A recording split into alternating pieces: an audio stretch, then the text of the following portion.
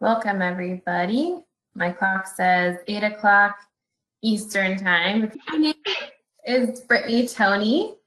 I am a speech language pathologist and assistive technology consultant for Saltillo. And welcome to Stepping Stones to AAC, AAC Campout. We'll go ahead and get started.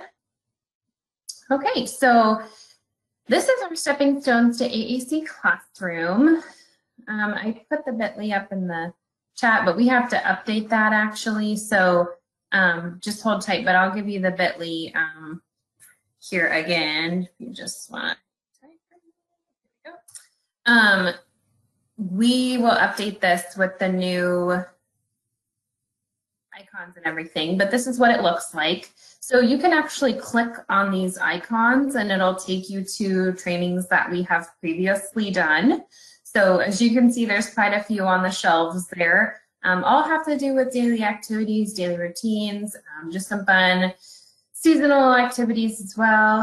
Um, I know tonight we're talking about camping. Um, we will also next month be talking about harvest, fall harvest, and, and things like that. So um, go ahead and we did one on Halloween so um, last year. So you can click on that little Halloween trick or treat bucket if you want some ideas for Halloween, and it'll take you to that training along with the materials. So you can also click on different items throughout this classroom. So I'm I am the Bitmoji on the left with the short brown hair. That's me.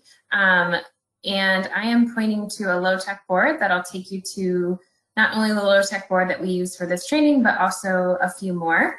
Heather is the Bitmoji on the right, and she is pointing to a Go symbol that'll take you to some different core words um, that you can download and use for these different activities. Um, and as I mentioned, I'm Brittany Tony, and I support Saltillo products in Southwest Ohio, Indiana, and Northern Kentucky. And I'll let Heather introduce herself. Hello, everyone. Uh, as Brittany said, I'm Heather Prenovo. I am a ASHA certified SLP, and I am the Saltillo consultant for Minnesota and Wisconsin. Yes. All right. Okay, so Heather is going to release a poll. We just want to know who you are. So if you could just let us know who you are. Are you a parent? Are you an SLP teacher? Um, if you click other, um, you can let us know if you're an OTPT or AT specialist. We just kind of like to know so we can answer questions appropriately.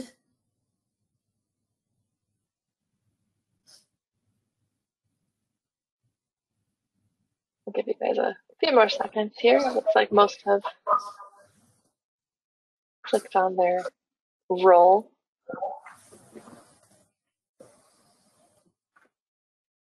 All right. So tonight it looks like about 88% are SLPs or SLPAs and about 13% are family or parents. So welcome. Yes, welcome. And I'm going to apologize. I have a tickle in my throat for some reason. So I'm really sorry. Um, um, yes, welcome. Thanks so much for joining us. I hope that you all get some good ideas from from this training tonight for using with camping. All right, so AAC is a journey. Um, just remember that it's not, an AAC is not our end goal. It's it's what we use to, or what our students and our kiddos use to to communicate. So AAC is not the goal, but communication is the goal. So just remember that. And it's a journey. We have to take small steps to get to that end goal. And we hope you learn some things to help you step towards that goal this evening. So one of the handouts that are in the materials tab is the um, organizational tool. And so this, um, we're going to go through tonight, and Brittany's going to actually type on the screen, and we'll fill it out together. Um, but you can use the blank one, share it with staff and parents um, as you go through it. But it's just a way to help plan out your interactions with AAC, uh, what words to target, what we can say, and how we can model for our AAC users.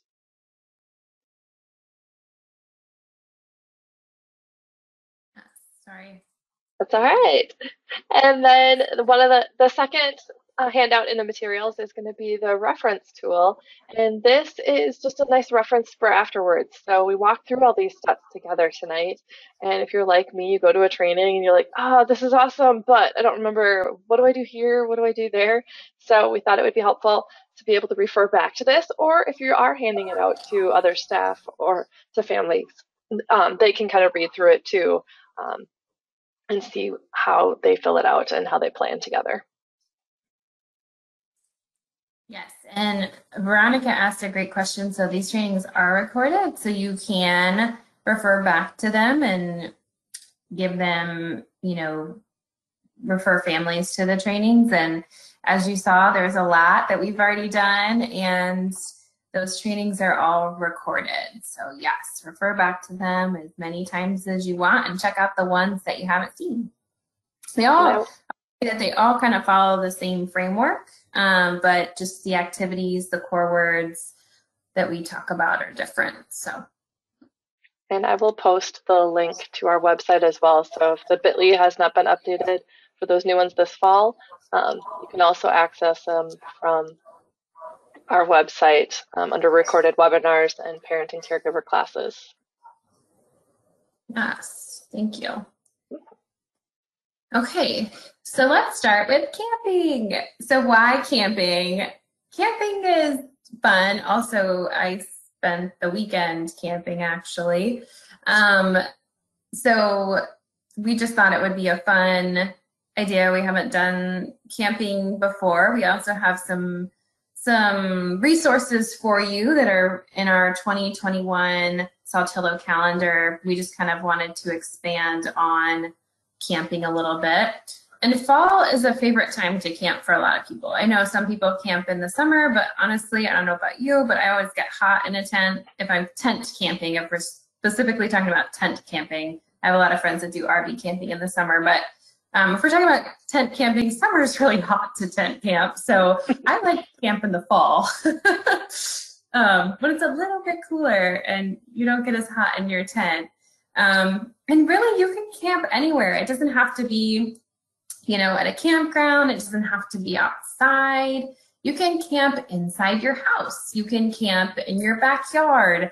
Um, I know that some schools I know that my kiddo's school sometimes has like a fun camp week and they makeshift um, a little play fire and a, a tent inside. Um, so it's just kind of fun. Um, and camping is fun. And there's lots of core words that you can use during camping. So that's kind of why we chose it for this evening's topic. The third handout in the materials tab is going to be a copy of our um, low-tech core board, and it's based off of WordPower 60 Basic with a few extra words like question words, feelings, some of those um, please and thank yous, that sort of thing, and a few more action verbs in the center there. Um, but so you can follow along with this. It's great to help plan out what words you want to target since the majority of the words on this are core words. So if you aren't familiar with core words, you can kind of look at this and be like, hey, I could target this word. Plus, um, being that with it being in WordPower 60 Basic on a device, a lot of these are going to be on that home page, and you don't have to think about what page you're going to because they'll be on that home page. Um, again, start simple and get a feel for it. Yeah. Okay. So typically, well, I wouldn't say typically. Sometimes we, we mix it up with these trainings. So um, sometimes we'll record ourselves just because COVID really hasn't allowed hasn't allowed us to be with AAC users out on the field as much. Um, so sometimes we'll record ourselves or I'll sometimes record me with my kiddos using a device and kind of simulating an activity. Um, this sometimes we'll use pictures. So this time I decided to just use pictures from my camping trip. Yes, these are real life pictures. um, took um, from this this past weekend, um, and so I thought we could just talk about them. So I have two pictures to share, and as I'm talking, I want you to use your low tech board or your kiddo's device or whatever that you whatever you have. um, to think about what words I'm talking about when we're talking about these pictures. And it can be interactive too. So if you think of some things as I'm asking questions and I'm talking, I want you to type it in the chat window too. So with this picture, shows a lot of different tents and trees. So when we're going camping, sorry, my voice is like giving out on me. what do you see? What do you see when we're camping? I see lots of tents. I see trees. Oh, trees. What should we do in the trees? Should we go for a walk in the trees? Go for a hike? I like hikes. Hmm, if we want to sleep tonight, what do we need to make? What do we need to make if we want to sleep? We need to make a tent, right? We need to make a tent if we want to sleep. Should we make a big tent or a little tent? Let's make a big tent so we can all sleep in the tent. Make a tent. All right, I'm going to go to the next picture. Feel free to chime in, guys. All right, what do you see now? What else should we make? It's nighttime. It's cold. Perfect, Mary. Yeah, let's make a fire. Let's make a fire. Let's make s'mores. Yes, love it, Jillian. You can't have camping without s'mores. Yes. Let's make a pizza pocket. Love it, Heather. Let's make dinner. Yeah. What should we make for dinner on the fire? What should we make? Hot dogs? Mmm. Hot dogs are good. I made a burrito on the fire. hamburgers. Mmm. Yum. Yeah, make a fire. Don't touch, it's hot. All right, so let's go to our next. Good job. Thanks for participating. I'm going to ask for your participation again as I type in some core words. So the first thing that we're going to do on our planning form is choose some core words. Now, you can choose these core words before you um, choose the activity or, or once you choose the activity, you can think of some core words to go with that activity. So what core words did you hear me using as we were talking about the pictures?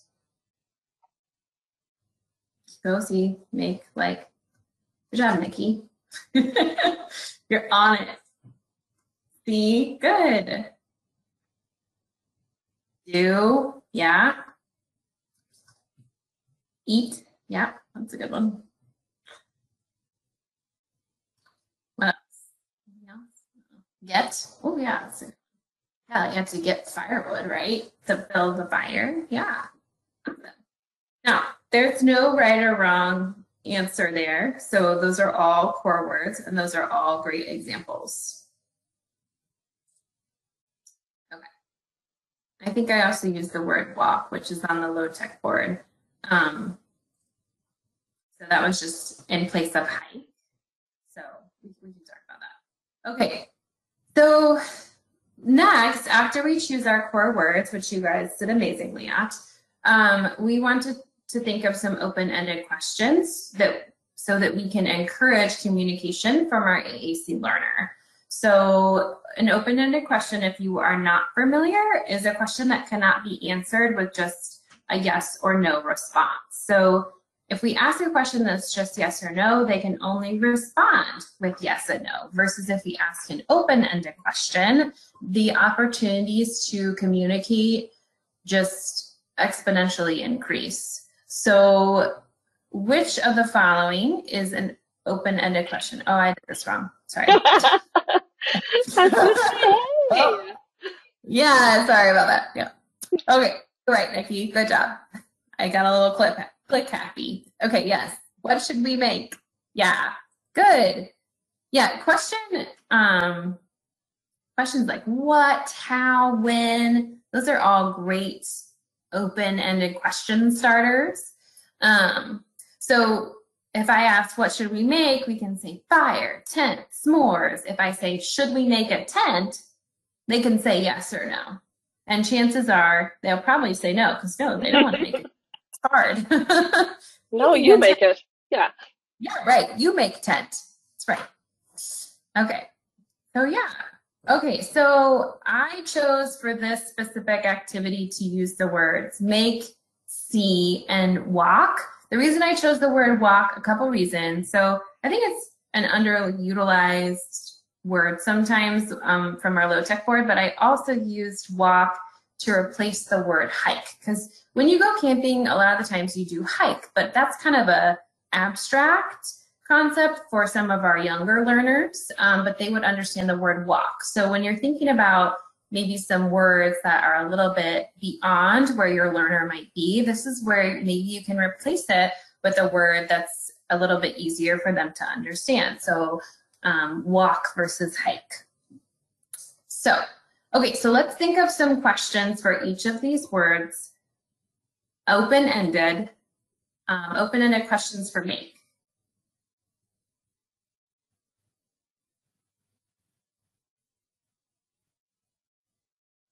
What do you want to eat? And we could say, and that was another thing. It doesn't have to have make in the question. It could be make is going to be in the response. So, could, what did you see? Mm-hmm. What should what should we make with wood? Good. Yeah, where good. do we want? Where can we put the tent? Mm-hmm. Yeah, that's good. What should we do first? Ooh, I like that too. Yeah, those are all great. What is your favorite thing about camping? Yeah, you guys are great. Okay, so where should we walk to? Oh, you're on it. Okay. okay, let's move. Yeah, let's move on to that. Where should we walk to? I like. I saw somebody up here. Um, what do you see, or something like that? Yep. What did you see? Okay. Good job. Um, what are some other ones?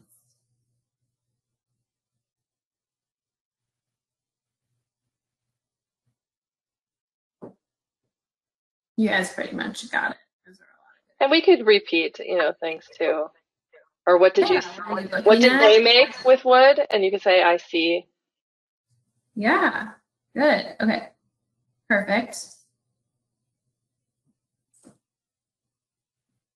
Okay. So the next step is thinking of some comments to model if your AAC learner is not yet responding to open-ended questions or maybe they're only responding with maybe a one word. We want to think of some comments so we can kind of expand that utterance to three, maybe four words, depending on how many words they're currently using. So we can model comments and writing down a couple comments that you can model for your AAC learner um, that they could say in response to your question or um, again as heather said you you don't have to use the word the target word in the question you might entice them to use that word like somebody said what do you want to eat well then we can entice them to say make burrito or make hot dog so something like that um, you want to make sure that you keep you're modeling at or just above their language level. And what I mean by that is no more than two to three words beyond how many words they're currently saying. So if you your AAC learner is only saying one word um, for most of their utterances, you want to keep it around three three to four words and not model too much because that can be overwhelming for them. Just like think of your verbal kiddos. If I were to talk like I am talking to you to a baby, they probably wouldn't understand what I'm talking about because it's too many words. so if you're thinking about how many words your AAC learner is using, kind of keeping it at just a, no more than two to three words beyond that. So, okay. So with that said, let's think of some comments.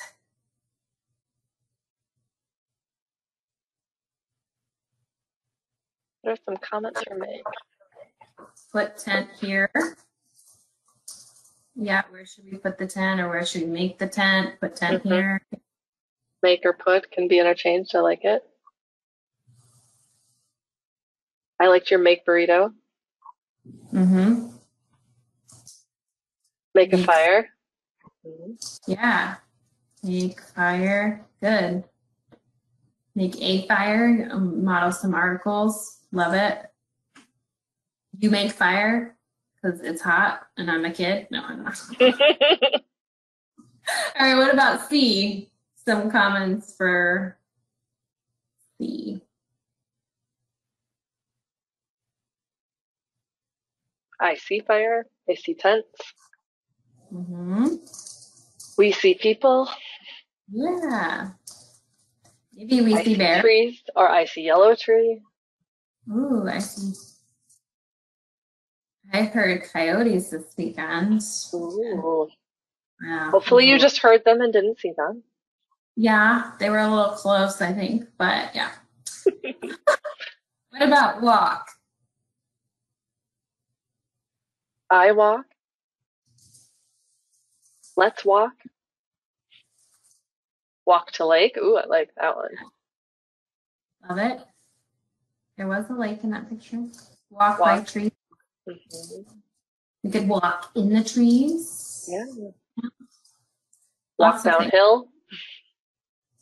Walk down, walk up.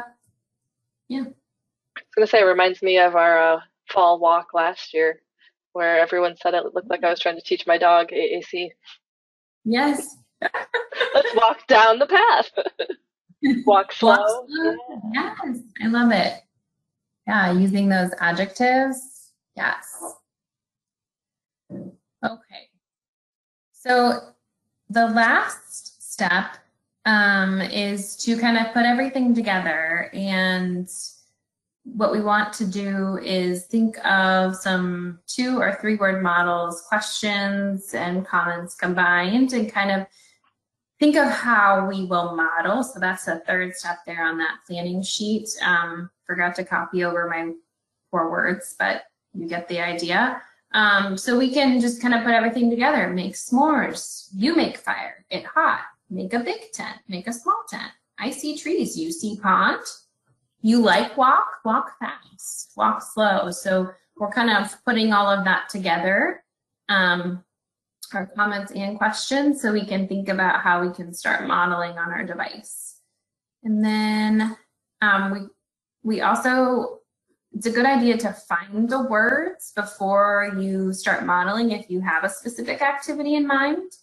Um, especially if you're targeting specific core words, that way you kind of know where they are on your child's device or low tech board or whatever it is they're, they're using. Um, I will tell you that I still can't find words easily. So I always still find that I'm like looking like, I know where that is. Where is it? I struggle Um, with the word more on our low tech board, and I know where it is, and I still Yes. don't know why. Yeah. So, um, so there's see, look, um, make, and then walk. You can even if you are using a low tech board, you can use. I like to use a post-it note, cut out a square in the middle, and kind of put it over that word and move it around. Um, you can also use a dry erase marker. Um, since the low tech, if you're laminating the low tech board, that's a good way to do it too, just so you and the AAC learner can remember where some of those target words are. So just some ideas. And I always remind people too at this release stage, get comfortable with maybe just touching the one word. So still say your whole question, still say your whole comment, but focus on hitting that word, touching that word on the device or the board um, that's highlighted. Start simple. And once you get really good with that and feel comfortable with it, then maybe add I make or we make. Um, instead of stressing yourself out trying to find all the words. So don't expect or don't think you have to hit every single word on the device to make the whole sentence or the whole question. Yep, exactly. Exactly. Okay, so we're going to practice and I'm going to pull up my, so just have these pictures in your brain. Um, I'm going to pull up my doc cam and I'm going to model in real time because I did not video this prior to this. I thought it would be fun um, also to ask how you want me to model. Do you want me to, I have three options. so I can model on our low tech board that we have provided to you in the materials. I can model on a flip book that's based off of Word Power 60 Basic, or I can model on an actual device. So vote. Pick your Anne Marie says device. Device. Device. Device says Mary. Okay. Going once, going twice. Device it is. All right. Any specific vocabulary? Let's stick with word power. Are you going to see the word make? Okay.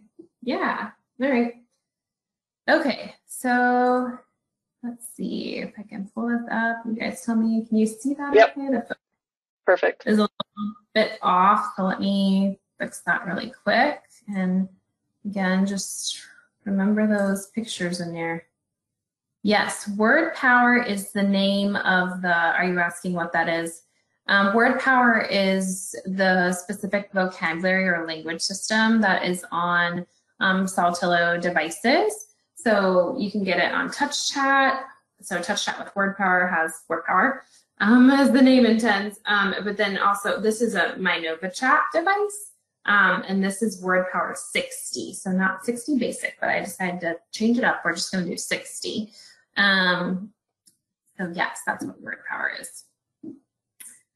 Um, okay, so if we're thinking about those pictures and a picture of tent and fire, so I can say, I, I, and again, see, look, I'm, I look, I look, I, and then we can go to our actions. I see that fire.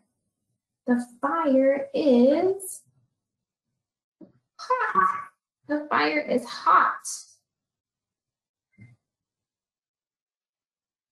What? Oops, sorry. What? What should we make? What should we make? What should we make to eat? Eat. Oh, sorry. Should we eat a snack over the fire?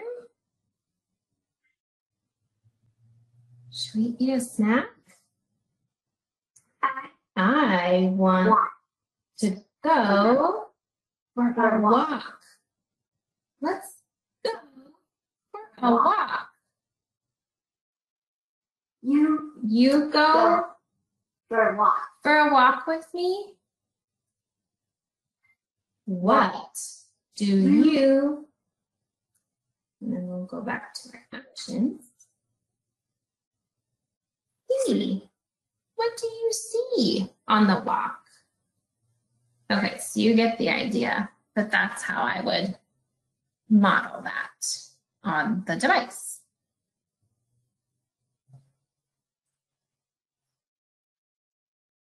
Okay. So after, I'm going to share some resources with you too in a minute, but after trying this or looking at how I model, do you have questions still? Uh, Mary asked, what do you do if your student tries keeping you from modeling on their device? Good question. Oh, oh yeah, Mary, I've had that. If you can use the low tech option, that's great. Um, if you have access to an iPad with TouchChat um, that you could model on a similar vocabulary file, you know, that's good too. hmm Yes. Yep. Any of those ideas um, I even had a student, we had to actually introduce that. I worked at an ABA facility, but actually introduce that as a program because he wouldn't Yeah. even let me make just do it. It was so Oh, yeah, Yeah. it was like had to have him work on tolerating other people touching it. But but yeah, low tech boards or if you have another device, something like that is a, is a is a great option. So if you have ChatEditor for a PC computer or laptop, you could also just print that home page or print a specific page. Um, so if you were focusing on some of those action words, maybe you print out that first action word page. Or you can Yeah. create some pathways with chat editor. Check out our recorded webinar on make and take for ChatEditor. yes.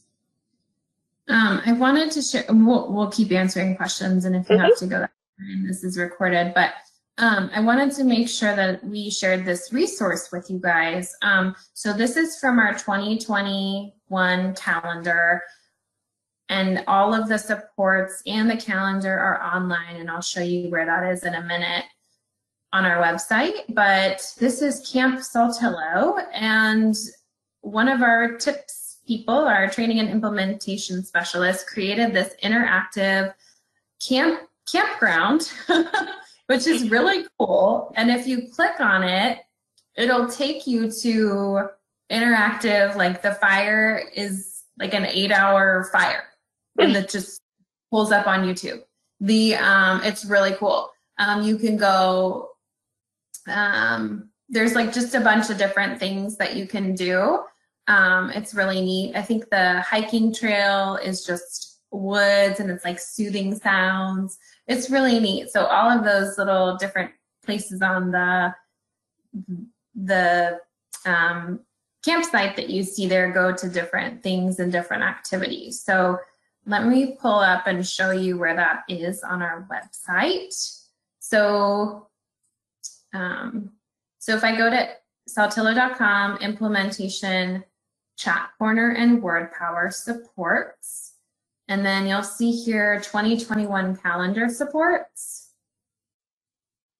Um, here's the Camp Saltillo. If you scroll down, that's what I just showed you.